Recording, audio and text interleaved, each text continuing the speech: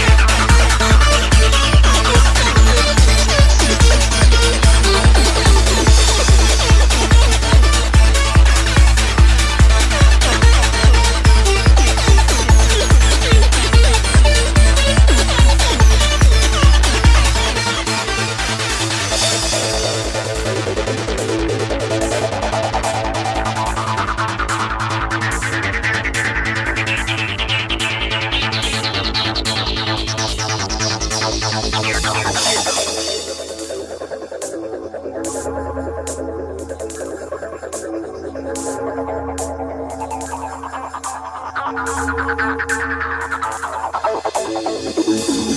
mystery somehow explains the way aliens have been genetically altering the development of our DNA from our very beginnings, so they inspired our spiritual leaders